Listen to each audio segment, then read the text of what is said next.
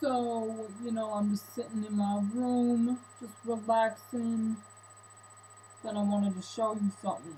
Something that I put together for you. Yeah, it's pretty great. I don't even know where it came from. It's just I just have a gift, I guess. Um only took me three weeks to learn. So I'll show it to you right now.